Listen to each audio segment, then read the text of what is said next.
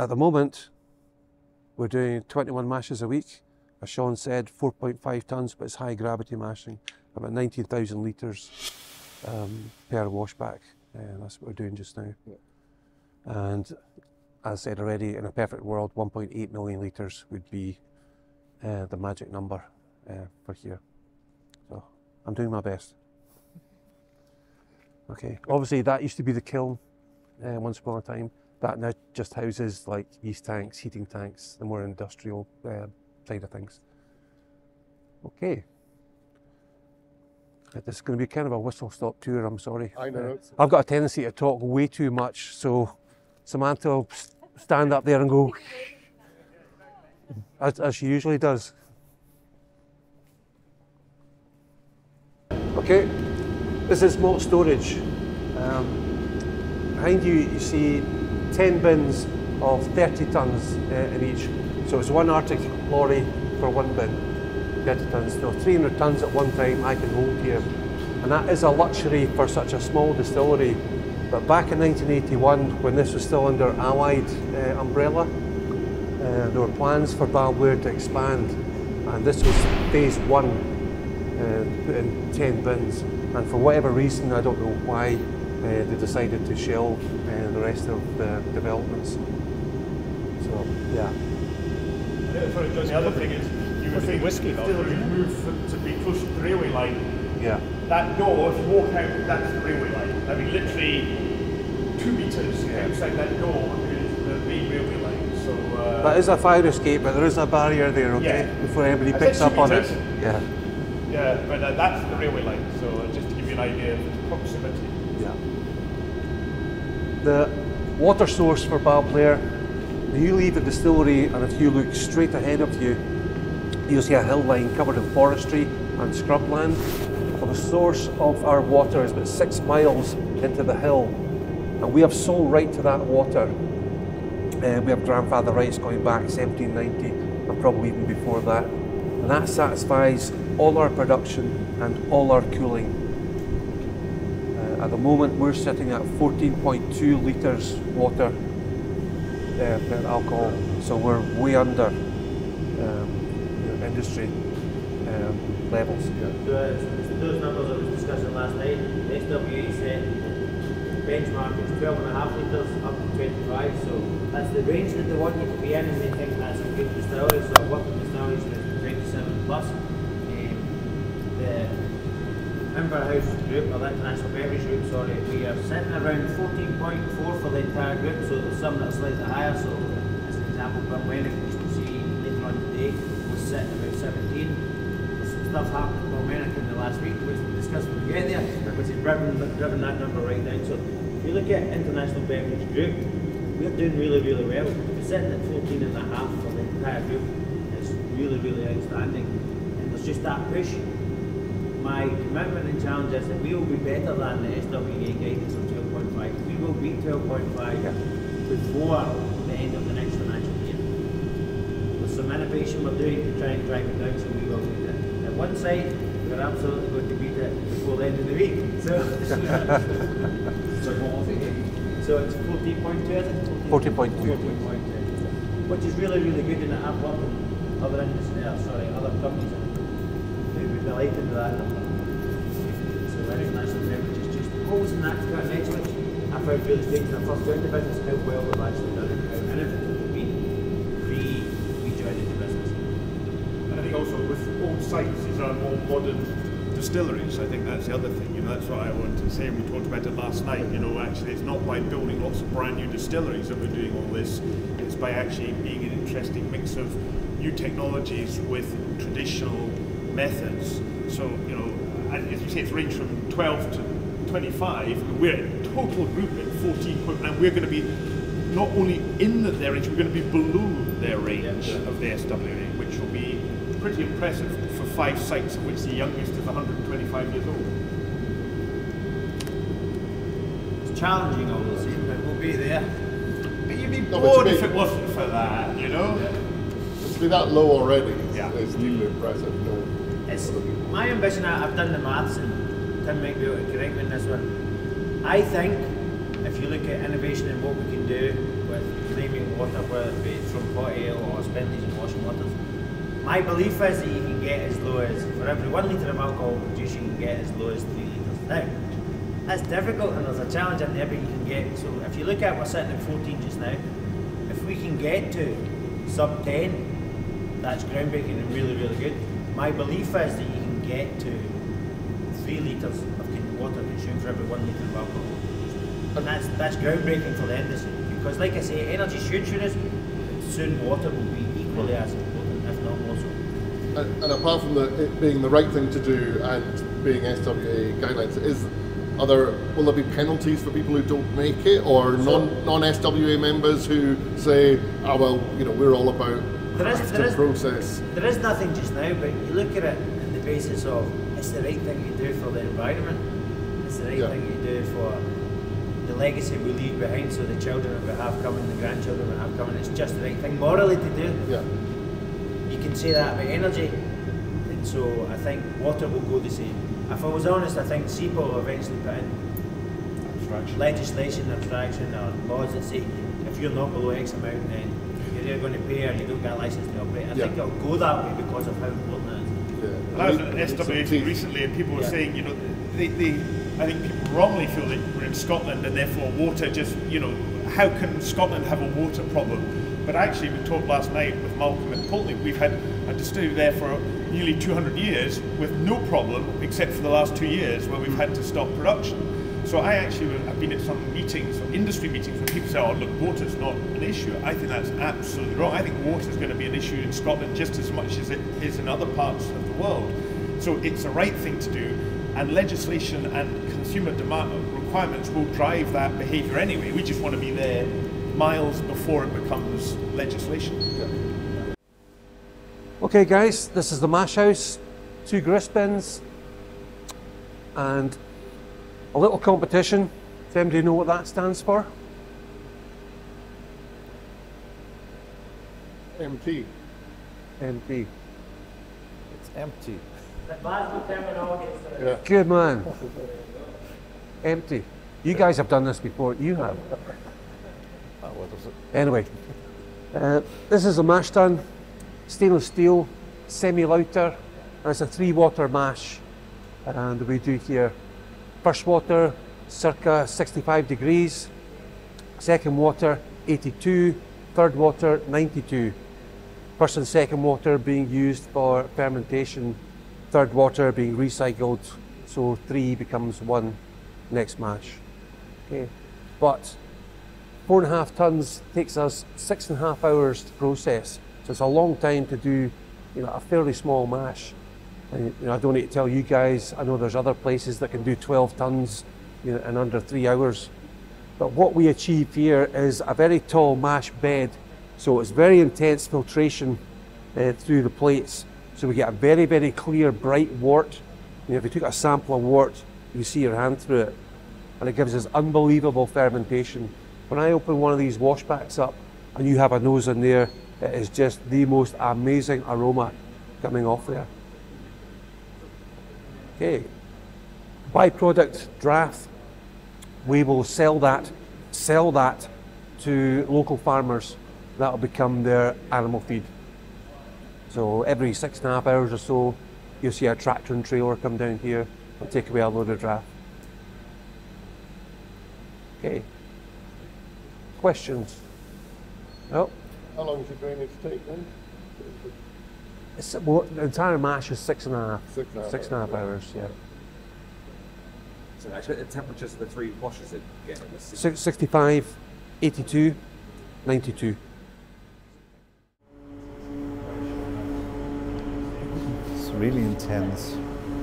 The smell is really intense. It's fantastic. Fantastic. I've never smelt washbacks quite like what we have here.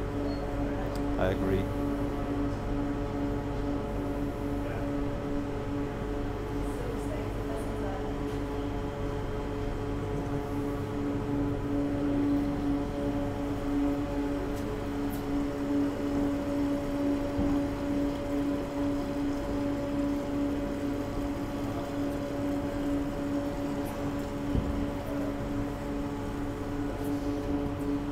Okay, just in a bit, guys. Okay, this is the tun room.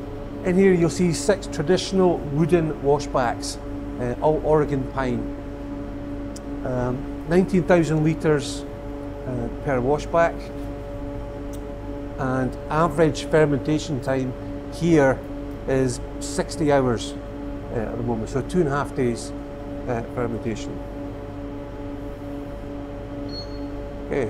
I'm waiting for you guys to ask me questions. There always have been wooden washbacks here, and well, we'll, we'll talk about this, Sean.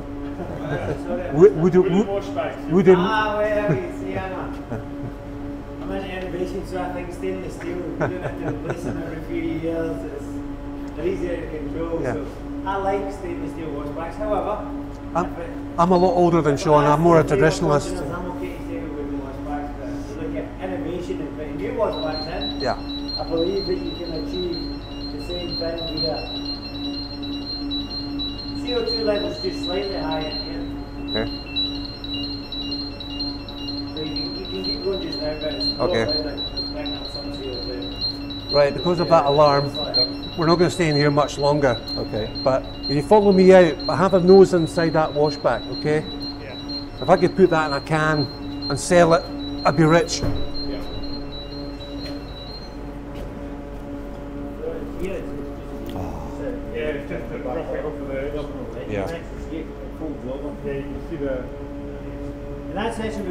With you get CO, CO2 leakage out of all wooden washbacks. If you have stainless steel, you don't have any of that. However, you wouldn't get the same flavour when you come in, or the same smell. Which kind of yeast That's do you use? okay. Uh, we're using Mauri uh, Okay. MG Plus uh, liquid. Yeah. Yeah. Have you experimented with other types of yeast or are you happy with I. I did when I started here. Um, we used to use pressed yeast before. Then we trialled a few liquids. I even did a trial with dried yeast, but I wasn't convinced uh, with dried yeast. Not because it didn't work, uh, it was because of profile, flavour profile. Because you could definitely notice it um, in the new make. So I cast that separately from Right. everything else.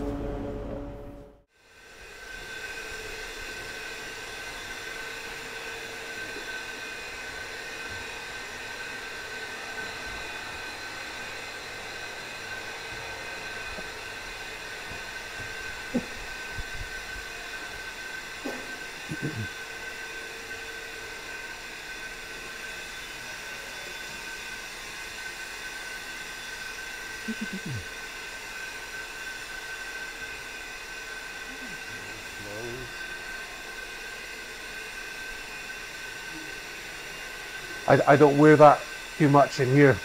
the tweed. Yeah, darker colours are probably better. De- dehydrate. Yeah, it's, uh, yeah, in the summer it must be absolutely sweating in here. isn't it? Fierce. Yeah. You've got like nothing really to open up, do you? There's a couple of There, there- Couple of lights. there are roof lights right above us, Oh, uh, vents. Even so, yeah. They only make so much of a difference. yeah. It's, uh, But the boys control the still house from up there, so yeah, fine. used to be two guys until 2010. Used to be one mastering and one stillman. Um, but now it's one person does all. Uh, it's seven days a week now. Seven days, 24 7. On what John? What's the case for the defence as far as you're concerned? Is keep using pine rather than steel? Do you think it would change the character? Yeah, it, it was talked about. Uh, they were all replaced in 2002, all of them at once. And it was talked about then to replace them all with stainless steel. Yeah. But my predecessor, Derek Sinclair, um, he fought his case. He says, well, you're taking an enormous risk to change these to stainless steel. You could alter that fermentation profile hmm. and hence something very different coming through the spirit say. So the accountant said, okay, Even changing, replacing all of them with more pine, I guess. Yeah. That Yeah. would have changed things a little bit in the short term. They, wouldn't it? they did take time to bed in, Yeah. Yeah. so to speak. Yeah. Normally you would not change everything at once, I would imagine. No, Yeah, sure. but but it had to be that the old ones were in quite a bit of disrepair. They were leaking quite badly, so they had to be done at once. When you talk about sustainability, back then in 2002, the washbacks that were replaced then were donated to the Findhorn Foundation uh, in Moray. So if you visit the Findhorn Foundation, you can go and live in a Balblair washback uh, if you wish. So you see, well, Nice aroma. you see about the, the layout here. It really is old style, kind of eh. cram everything in. Everything has been shoehorned in here. Yeah. Yeah. It's driven by the where the warehouse is now set and the railway line. And so yeah. to do anything innovative, innovative at this distillery, we can't do it in this bit, we need to do it in our warehouses. Because everything is so tight. So when we go out the back, this site is one of the only sites, it's the only site that we don't have one curves. This is just condensers. So when we get out the back here, we can talk briefly about thermal vapor recompression because in June of this year, August, June, July, August, we will replace these condensers and that entire system out the back with TVR. So we can discuss it out there, but that's what we'll do. All of this, so the stills will remain the same, but the condensing system out the back will be completely changed. Now, it won't impact quality or character, because all we'll do is we'll recover the waste heat from that condenser in a slightly different way and reuse it in the process further down. So condensing will still happen the same, will still happen in the same time frame, but what will happen is the waste energy from there we will reclaim and reuse, which means that we'll get less reliance on fossil fuels at that point. Hmm. Hmm. Okay. You, see two stills in here. One wash still, one spirit. One wash back per one charge of the wash still. That will run for about four and a half to five hours. I don't know what the timing will be when it's TVR. Sean? So TVR, you can shorten the time frame slightly with TVR. We have no driver to change um, the, the condensing time. Our reality is the washbacks are the rate determining step, so the still house is under no pressure to run any faster, so we won't look to change it. Okay. You could change it for energy reasons, you could shorten your still runs. There's no business driver for that just now. The spirit still initial strength on foreshots is about 75%. Once we go into spirit, we slow the still right down, run it very, very slowly. We'll then stay on spirit for three hours. Cut point is 60%. As you all know, below 60% for here, you begin to detect off notes. You know, it becomes feinty. So it's obviously something we don't want in our end product. Once we do go on to feints, we'll take that down to 1.5%.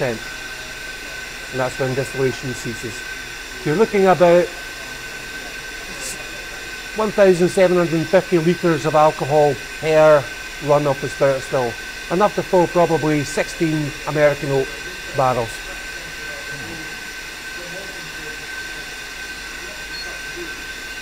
And has that, has that been the, the process since you joined? It's not changed? It's been tweaked Yeah? slightly. So what have you done to tweak it? Uh, raised that cut point. Yeah. Used to be down to like 58, then went to 60. Just Also to make, just keep it slightly cleaner or? Yeah. yeah. High gravity mashing Yeah. also impacts um, alcohol strength. So what you'll find is that John's alcohol strength here would have been about 68, 68.5. Aye. 68.5 alcohol by volume would be what you were producing off the still. When you go to high gravity mashing, it increases it slightly, it just makes your alcohol slightly more concentrated, so we're probably off at 69.2, 69.3. 92, yeah. So you do see that increase, but it doesn't. the wash point is high, your, your wash strength higher. When you start. It's, uh-huh. it's just that you're getting that higher concentration of Starting from a alcohol, higher point anyway, aren't the less water. So which style of new make are you aiming for? The style, The flavor profile. I'll show you once we get back. Yeah. We'll do a tasting. I'll get some new make and we can share it around. It's fantastic. Fantastic new make. I never recommend drinking you, mate, but I knew you. I know you guys always liked it. I, just don't recommend it. It's entirely up to you. It's research. Oh, it's definitely research. yes, yes. How old's the test?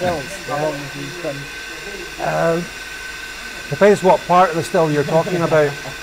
Um, in my time, we've never replaced a whole complete still. The boil pot, the wash still has been replaced. And the neck of the spirit still, obviously. Yeah. The old, the old neck you see outside uh, in the yard, that used to sit on top of that spirit still. I always find it super interesting when people ask about the stills because I, I use the analogy of Trigger's broom and um, Only Fools and Horses. I've had this broom for 50 years, but I've replaced the handle, replaced the head. It's exactly the same. Our, our copper runs out. Um, we do thickness testing to check it, but when I a distillery says, well, those are the original stills, my argument back would be they've obviously not been running very often because the pure nature of alcohol production means that the wear you're getting copper wear all the time, and that's one of your character flavour drivers. It's the interaction with copper, how it interacts, how it oxidises. So anybody who says they've got an original still that they've never changed any parts, they've not produced a lot of alcohol. Put it this way, I've replaced each constituent part of those stills in my time here, and the condensers as well. Yeah, yeah. Is there any particular part of the process that you you would say was absolutely key to Balblair and the character that you get, or, or is it just that combination of all the different elements? That you All, all of the above, I would say, yeah. If you change one thing, it's that same thing. If you change one little Yeah. thing, it's going to impact Yeah. the whole. But, you know, if we, if we decrease the fermentation time, To do anything in it to bring you here. know, can't see it happening, but it went down to like something silly, you know, 45, 48 hours. That- that will change That way, I can't go that way. What, so what your fermentation times currently? Average is 60. 60. Do you have sort of the long and short mix, or are they? N- not really on five days. We obviously had, well, we're doing less production then, but it was seven short and seven long. The longs were getting, it was 103 hours they were getting sometimes, yeah. But, no, I think 60 is perfect for here. Yeah. So this area will completely change. You see that this test hole's been dug, etc. So this is where we're going to make the investment. So what you need to imagine is these are traditional condensers. Um, so you've got a hot side and a cold side, vapour one side, cold water the other. And all you do is the vapour comes over from the stills, you pass cold water through it, you condense it, one pass, that's it done. The energy transfers from the vapour into the water. We- use the water in some parts of the distillery, but pretty much that heat energy isn't reutilised. So what we're going to do here is we will strip this entire part out. Everything you see here will be stripped out and we will put in a new system called thermal vapour recompression. And all thermal vapour recompression does, and I'll keep it as simple as I possibly can, is it works on the Venturi effect. So it's about changing pressure, changing speed of the heat source, and then decompressing it at other. So what happens is you have a TVR condenser which takes the, the vapour from the still and then it uses water as cooling. But what happens is you have steam from your boiler house, which is a fossil fuel, but you can change that source. Pass it through a Venturi, and the motor force of the steam takes the waste energy from the condensed vapour, transferring it into the water. You recompress that, and then what it does is it superheats that water back up to being steam again, and you reuse that. And so what it does is this water that is 70 degrees, probably in at 60, 70 degrees, recompresses that. As it recompresses, you force high pressure through the venturi, and as you compress it, it heats up again, becomes superheated. Pass it through the venturi, it comes out the other side, and you have what's called superheated water, which is close to steam, but as you change the pressure, it reverts back to steam. And so at that point, that energy is able to be reused because it's 60, 70, 80 degrees, it's no use. In the distillery, you can't really do much with it. So we compress that back up to 120, 130 degrees, and that reduces the reliance on steam from the boiler. Because if you think about a distillery, heat energy is everything that you need. Electricity is like 10% of what you need for a distillery. 90% of the energy you require in the distillery is heat to boil it's big kettles. At the end of the day, that's all they are, big kettles. So you're boiling up the liquid, flashing off the alcohol, and that comes from this fossil fuel. So to reduce our reliance on fossil fuel, innovative technology is what we're trying to do, and TVR is one of them. And so it's just taking waste heat from here, recompressing it into being much hotter, and reusing it back into the uh, stills. So waste heat from the stills goes back into the stills, and that takes 40% out of your wash still. So what you need to think about is it's only done in the wash still. You never do it in the spirit still. So you take 40% reuse of that energy out of your wash still, and you use that again in your distillation. So it's an actual reduction of 40% for your wash still, but when you do the maths across the piece, it's approximately 25 to 30% across your entire energy footprint. And it's doing nothing. It's just mechanical. You don't do anything different. It's therm- so it's the thermal vapor. So the steam passes through a Venturi effect, and that's it. It's not super fancy. It's not really technical. It's simple, but it's cost effective and reduces your cost of fuel reliance. You do have something called mechanical vapor recompression, which is probably more efficient and a bit better. And when it works well, it's miraculous. When it doesn't work so well, it's really problematic and expensive. But it relies hugely on it, so it takes a huge amount of electricity. Is that, what's the what Sugar's doing? Is that So they're doing they're doing MVR, so Yeah. mechanical vapor recompression, and all that is is they have a massive turbine, and what you do is you take the low intensity heat out of your stills, you put it through a turbine which just compresses it, but the turbines are running like seven thousand RPM. It's like a turbocharger in a Aye, car. and all it does is it, it superheats it because it changes the pressure, superheats that energy, and then it fires it back out ready to be reused. And that's all well and good, but way you need to think about a piece of equipment that's running at 7,000 RPMs, you get a tiny bit, so this is a, a wet process you need to think about, you get a tiny bit of vapour into that heat stream, and it's like hitting it with a machine gun. You're hitting that impeller, and then all of a sudden it goes out of balance. And if you imagine your washing machine when you put too much water in it and it shakes, you imagine something that's rotating at 7,000 RPM. It's not just shaking, it's virtually taking off. And so MVR is great, but we need to wait a wee bit for the technology. It to goes wrong, it goes. If it goes wrong, it goes catastrophically wrong. And it's really, really expensive. So my previous employee, I worked for in the evaporator systems, and we used MVR. I loved the MVR. Super efficient, super cost effective, but when it went wrong, it went catastrophically wrong. So if MVR is an example to run an evaporator, you do it with electricity and a tiny amount of steam, so two bar of steam would run an MVR. If the MVR breaks and you need to go to thermal vapor recompression, you have to shut the distillery because you need 10 barrels of steam to run the evaporator. So mechanical vapor recompression, super efficient, super expensive, but when it goes wrong, it goes terribly wrong. TVR, much simpler, much more cost effective, and much less problematic. This is like the movies, Jack. ah, touche. I hope not. uh, yeah, this is number four warehouse. We've got eight warehouses like this. All warehouses are traditional dunnage style. There is no steel racks. There's no palletisation, uh, which is something that pleased me greatly uh, when I came here uh, way back in 2006. Uh, capacity for the warehouses is 22,500. At the moment, we're probably sitting about 21, but that doesn't concern me because the balance of ins and outs works very, very well. Everything's filled into, filled for Balblair single malt, beg your pardon, is fully matured on site here before it goes down to Airdrie uh, for bottling. Vast majority is uh, American barrel, um, some hogsheads, and you know to a much lesser extent um, sherries. So to stress that every single malt that comes from Balblair is matured here. Yeah, for single malt, yeah, yeah. And for blend, how much? What's the split between single malt and percent of the blending? Malcolm, you can answer that question, I'm sure. You need the stock, guys. I can't tell you. I mean, it's not. It's not a secret. I just But- do not hold that figure in my head Well, per distillery. For, So, si- uh, for single malt, it's the last figure I've seen was about sixteen percent.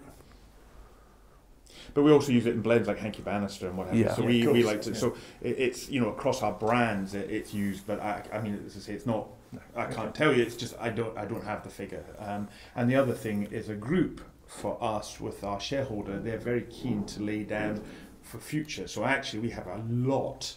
And I mean a lot of very old Balblairs in the 30, 40, I think we're nearly heading for 60 year old. So one of the things we'll be doing in the next few years is releasing more high age because the one advantage of having a patient shareholder is they're happy not we don't have to push to sell it all today. We're not here to raise money and start products to you know pay the cash flow for our new distillery.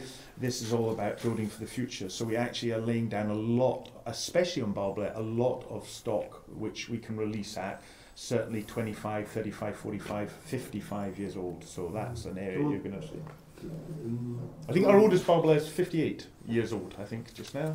I. I wasn't going to tell anybody that, Malcolm. Okay. Our oldest Balblair is over 50 years old. uh, uh, so, you know, the, you know for, for us, there's a, um, that's an area I think that we will look to do to more on. So we, we've got a really enviable, and not just at Balblair, all the sites, our shareholders owned the business for over 21 years, and actually one of their issues is they believe that as a company based in Asia and Asia growing and premiumizing, that it makes sense to lay down a lot more whiskey. So even if you're saying what do we use for our distilleries or distillates just now, it's X, but actually we're laying down a lot to go into Balblair in the future as Balblair grows. So that's the other thing from us. So we're happy to hold the stock, and our shareholder in the business has no worries with holding more assets in terms of our Scotch whisky. So from our side, we'll continue to hold a lot more stock so we can actually grow into that consumer base as it develops around the world. And we certainly see Asia as obviously a, a, big area for us going forward. And I, I think India as well, as we all know, is another huge powerhouse market that will look to, to drink higher and better uh, aged whiskey. So for that, we're investing in the future.